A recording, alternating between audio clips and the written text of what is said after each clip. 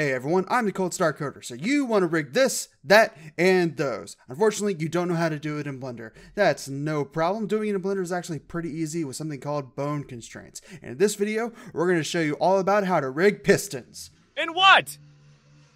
I shouldn't keep that joke in. I should not keep that joke in. but I'm gonna. Okay, so let's go ahead and get started and hop into Blender here. So I have a rough little model that I've thrown together just for demonstration purposes. It's pretty simple and pretty standard of what you're going to see for a rig like this. We have the two base models, which is just where the piston's attached to the model. And then we have the two pieces of the piston, the long rod part and the sheath where the rod actually goes into. And they all come together pretty straightforwardly. So we're actually going to create an armature to uh, actually animate this. So as we move the two base pieces, the actual actual piston parts will actually uh, actuate the way you expect them to.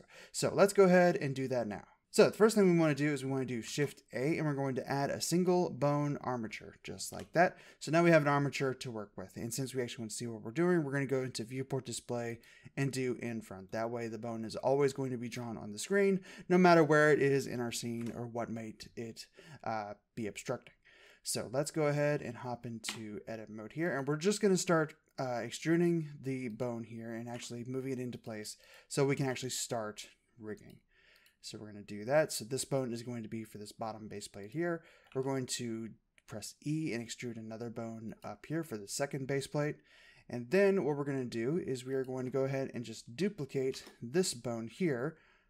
And we're going to use this for the sheath part of the piston. So we're going to try and line that up to the best of our ability. It doesn't have to be too exact here. We're going to shift D again.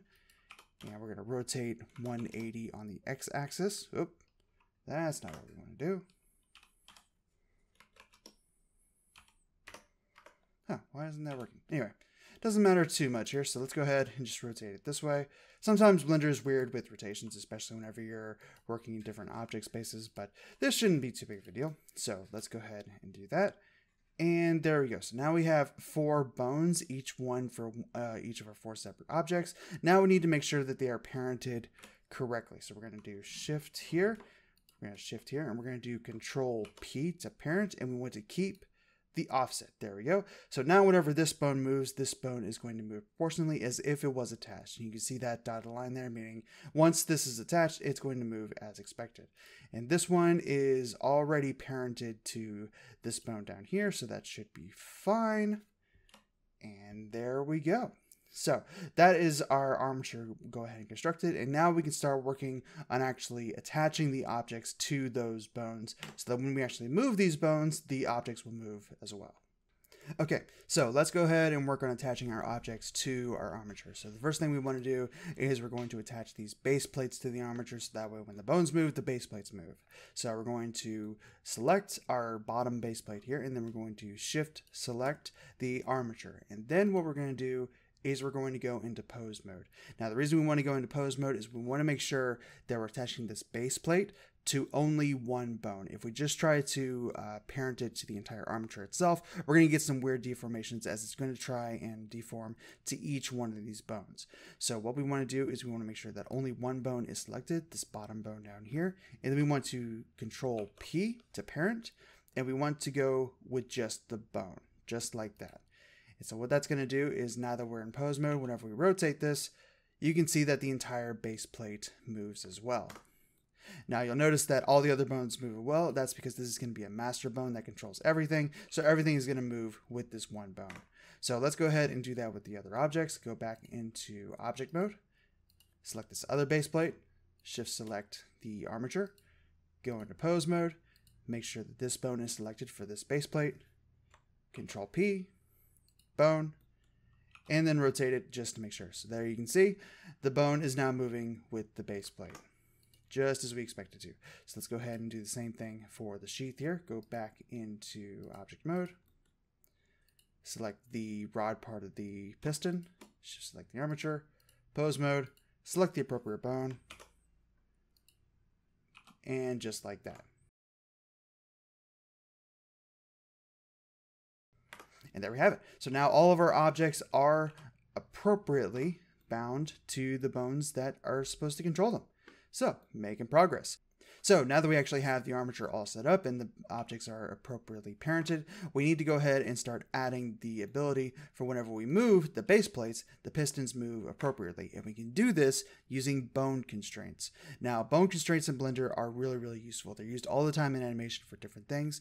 Uh, this is how you get inverse kinematics. So whenever you move one part of the leg, the entire leg moves. Uh, you can do uh, look to. So if you want to actually control where a particular bone is looking towards, if you want to control how one bone moves relative to another bone. You do all that through bone constraints. And luckily, we'll be able to get this piston effect using the look to constraint. So what we want to do is first we're going to select the bone that controls the piston rod here and we're going to go to the bone constraints menu make sure you're in pose mode whenever you do this otherwise this menu option might not show up and once you actually are in this menu you want to add a bone constraint and you want the track to constraint so the track to is what we're going to use to actually force the bone to look towards a particular spot in our scene and first thing we need to do is we need to select our target now for us, our target is going to be our armature. So what you can do is you can take this little eyedropper here and just select the armature either here or up in the menu. Either one works. And that is going to give us a second option, which is to track to a particular bone. Now, it's good practice to actually name the bones as you're making them. I didn't do that for this scene. That was kind of an oversight on my part, but it's real simple to see what the bones names are. Just select the bone and you can see the name up here. So the bone for the sheath is actually going to be bone 002. So back to bone 003, which is our rod bone. We're going to go ahead and select the bone as bone 002. So what this is saying is we're saying there's an object on an armature that we want to track, and that object is bone 002. Now, Blender can be kind of weird with object spaces, and you can see here once we actually put in the options, it stuck straight up into the air. Uh, that's not exactly what we want, so if you get this, you need to kind of experiment with the track axis and the up axis to make sure that it's pointing in the right direction. And I believe, yes. So let me just make sure those are the right settings. Nope, that's not the right settings.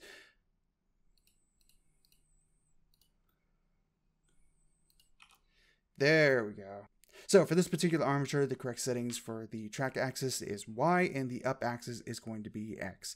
Uh, this is really something you need to just kind of experiment with until you get the right results. But as you can see here, if we select the sheath part of the piston and we rotate it on the X axis, you can see that our object is properly tracking to it. Now, you may be asking yourself, how do we know what part of the bone it's actually tracking towards? And that comes from this head tail option here. So right now I have it uh, set to one, which means that it's tracking the head portion of the model, which is this portion here. So wherever this little ball here is pointing, that's where the bone is going to point towards. So, but if we change it to say 0.5, now it's tracking somewhere in the middle of the bone, exactly, exactly in the middle, excuse me.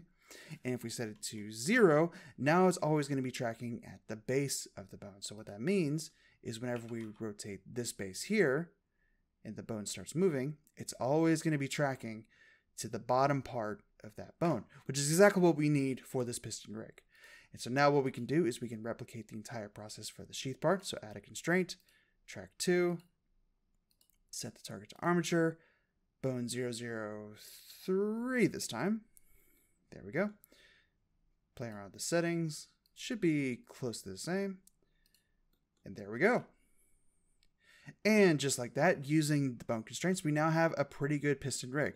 Both parts of the piston are now actively tracking towards each other, and as the base plates move, you can see that it looks like the piston is actually actuating uh, appropriately, which is great. That's exactly what we wanted. And so there's a lot more you can do with bone constraints. For if we wanted to take this to the next level, we could actually add a constraint to this base plate here, which is the where is it? Ah, here it is, the limit rotation constraint. So if we wanted to limit the way that this bone rotated, because like without this constraint, the bone can rotate in any direction, which obviously doesn't really make sense for a hinge joint uh, mechanical part like this.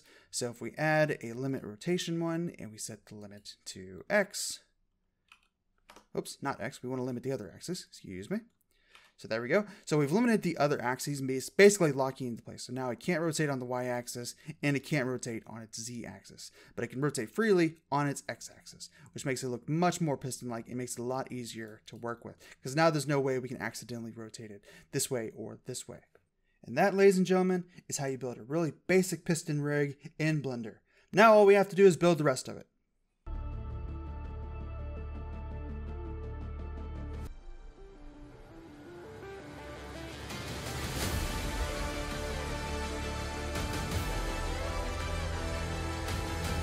Thank you all so much for watching. I hope you learned something during this video. If you did and you have some spare time, maybe check out this other video from my channel. Hope to see you there. So if we go ahead and set this all the way to 1, it doesn't do anything.